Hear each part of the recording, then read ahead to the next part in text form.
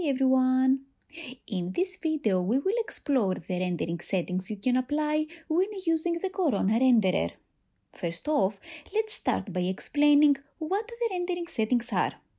They are mainly algorithms that calculate effects not displayed in the editing environment due to their complexity.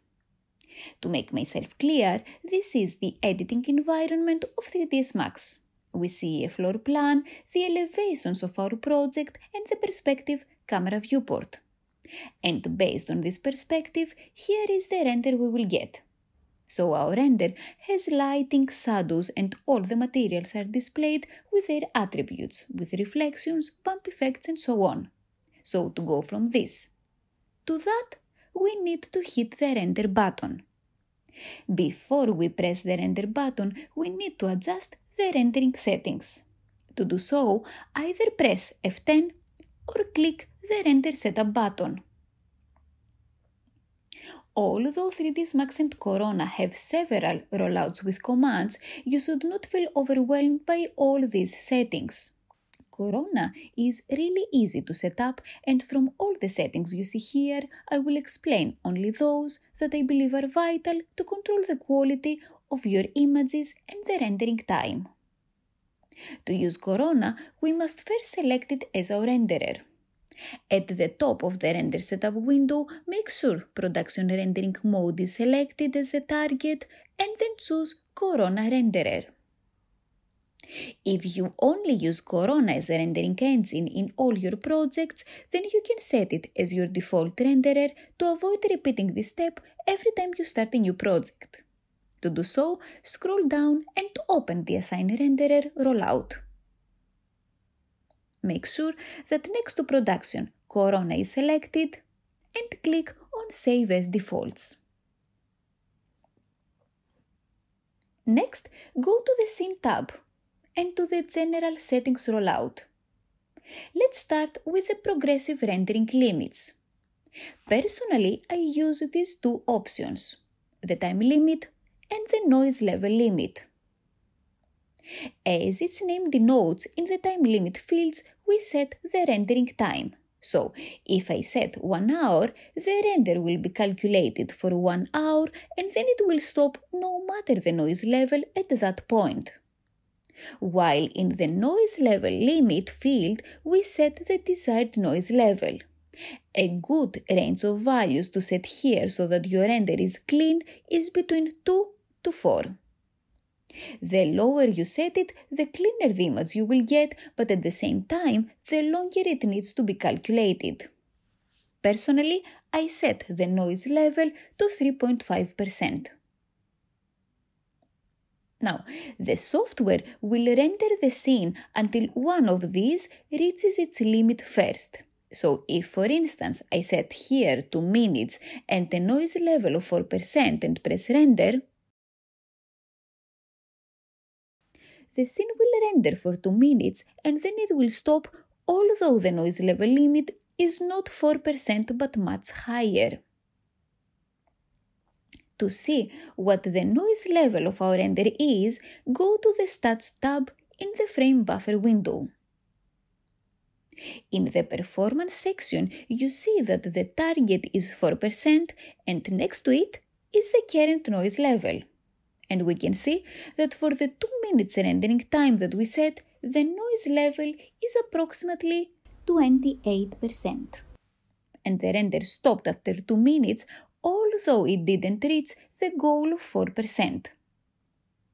Personally, when I do my test renders, I set the time limit to 15 minutes, and I'm not interested in the noise level. This way, the scene will render for 15 minutes and then it will stop rendering no matter the noise level at that point. Once I have finalized my scene and I am ready to render the final image, I will set the time limit to zero and I will go to the noise level limit and set it to 3.5%. The next setting I adjust is the denoising mode. As its name denotes, denoising is a process added at the end of the rendering process and it smartly blurs the image to reduce the noise present. The default option is none and you can say that my render has too much noise. While if I select Corona High Quality and re-render,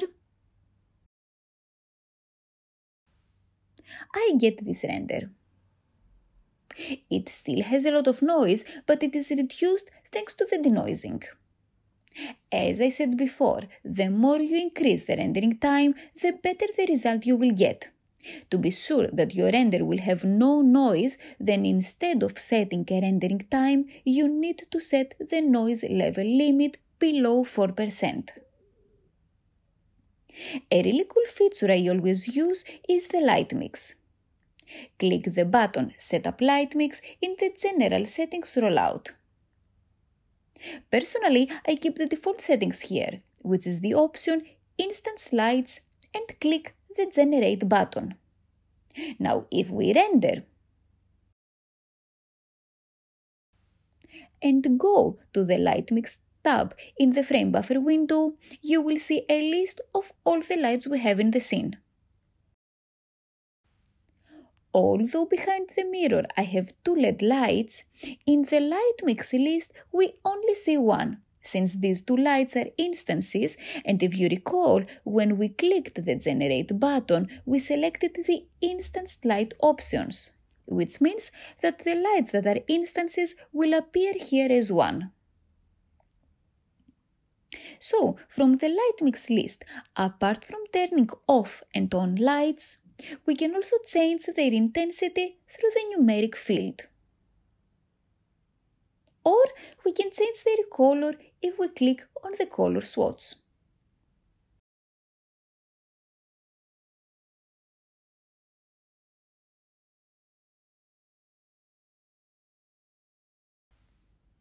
If we drag and drop, we quickly copy the same color to another light.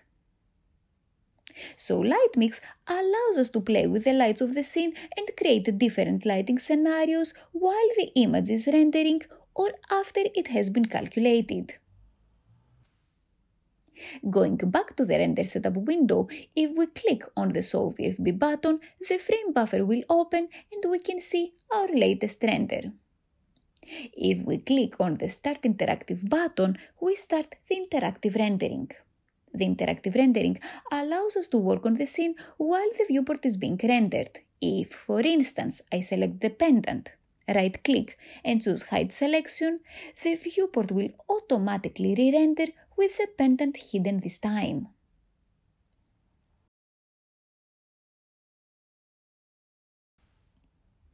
If the option Render Hidden Lights is enabled, then any lights that are hidden will render. So you can see here that although I have hidden the pendant, the light sources are visible in the render and they cast light. I will click the stop button to stop the interactive rendering. One more option I use pretty often is the material override. Enable this checkbox, click on None and select the Corona physical material. If we now render,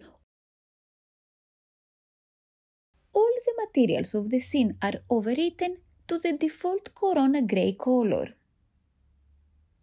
If I want to change this color, I will open the material editor, drag this in here and select instance so that any changes that I will do in the material in the material editor will automatically apply in the material in the render setup window as well. I will go to its settings and make it a lighter grey.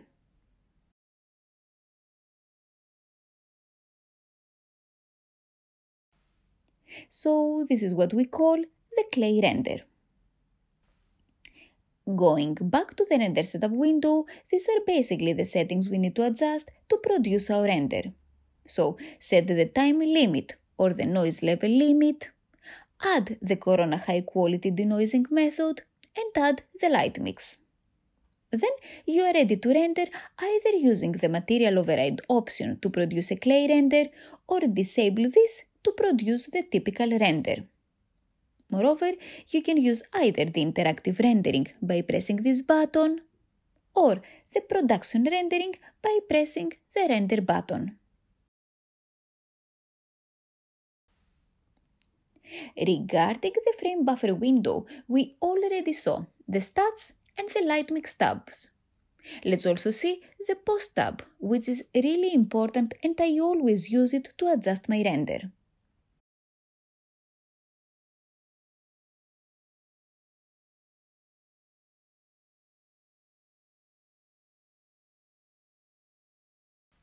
Exposure allows us to adjust the brightness of our image.